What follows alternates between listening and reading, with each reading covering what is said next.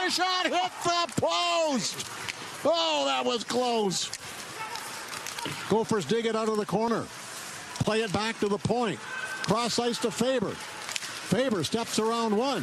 Heads down into the right wing corner. Minnesota's Brock Faber trying to hand it off to McLaughlin and does.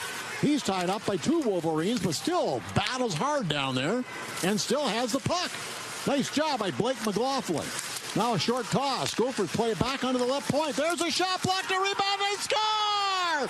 Sammy Walker in overtime. The Gophers are in the championship game. And the celebration goes on.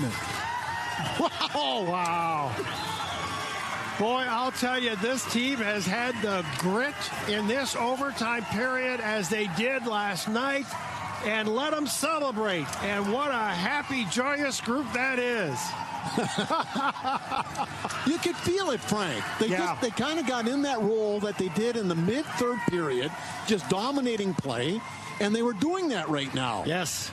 Yes. Oh,